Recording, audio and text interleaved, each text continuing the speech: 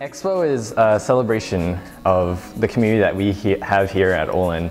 It's a chance for us as students to share what we've done in the past semester, both in and outside of class, and allows us to connect our academic work here with real world experiences that the community as a whole bring.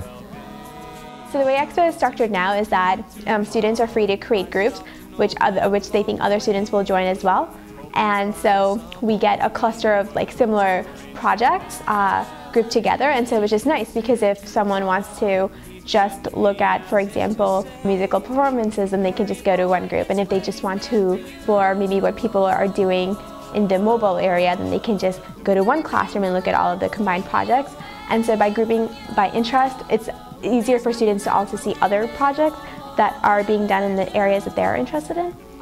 Expo, it, it's really just a showcase of everything that people have done at Olin, whether it's course related or not course related. And not for the purposes of evaluation, but really for the purposes of just seeing all the cool stuff that other people have done that you may not have heard about or may not have shown off to anybody. And the opposite is also true. Going around and seeing some really cool projects that I had no idea were going on at Olin, like anything from robotics projects to even some theoretical math or science projects, or even to do with like the arts or humanities. Interests at Olin are so diverse.